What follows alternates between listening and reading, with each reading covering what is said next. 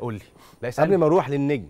ماشي. نجم المباراة ماشي. اللي أنا عارفه ماشي. من وجهة نظرك. ماشي. عايز أسألك الأول على محمود متولي. محمود محمود متولي متولي جاي من بعيد طب ينفع أجاوب على محمود متولي ومحمد عبد المنعم؟ الاثنين مع بعض. بس ماشي. أنا أنا ليه ليه ليه ميزت محمود متولي؟ عشان محمد عبد المنعم عمل مباراة كبيرة. طبعا. بس محمود متولي ده كان على وشك الرحيل من النادي الأهلي. طبعا.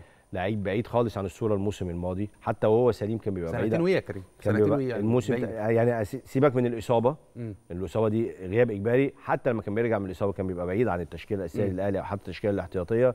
اليوم الراجل بيعتمد عليه أساسي ويتألق بشكل كبير جدا. نتكلم بقى على محمود متولي واتكلم على محمد عبد المنعم براحتك. رقم واحد محمود متولي شئنا أم أبينا زي ما انت قلت هي ترتيب القدر. الراجل أصيب إصابة طويلة ورجع أصيب من- منها تاني.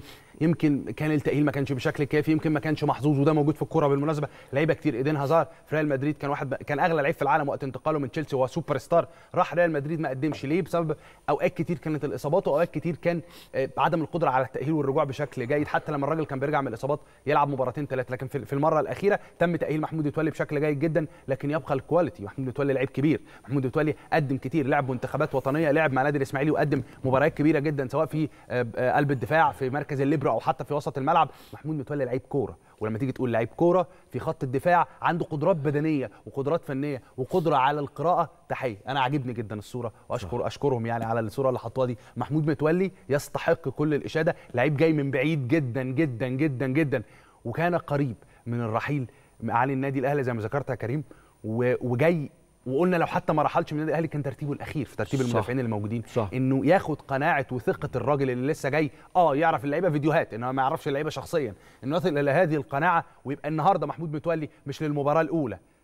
منذ قدوم الراجل وهو بيعتمد عليه بشكل أساسي للمباراة الخامسة على التوالي واحد من نجوم فريق النادي الأهلي في الخمس مباريات الأولى لمارسيل كولر. أعتقد إنه مكسب من مكاسب الاهلي مع مارسيل كولر هو عودة محمود متولي لحالته الطبيعية. وخليني أقول لك إن محمود متولي آه هو واحد من نجوم المباراة لكن لسه عنده أكتر من كده. متولي لعيب كبير محمود متولي واحد من اللعيبة القليلة جدا اللي بيلعبوا في مركز خط الدفاع في مصر اللي عنده القدرة على قراءة مسارات الكورة على غلق زوايا التمرير على الخروج بالكره بشكل جيد ال build up الممتاز سواء من الخط الأول أو من الخط الثاني محمود متولي كمان كورته جيدة جدا. لو جيت احتجته في وقت من الأوقات إنه يتواجد في وسط الملعب هيبقى موجود محمود متولي كلاعب مركز ستة أو لعيب مركز ثمانيه جيد جدا. لكن أعتقد ثنائيه آه، محمود متولي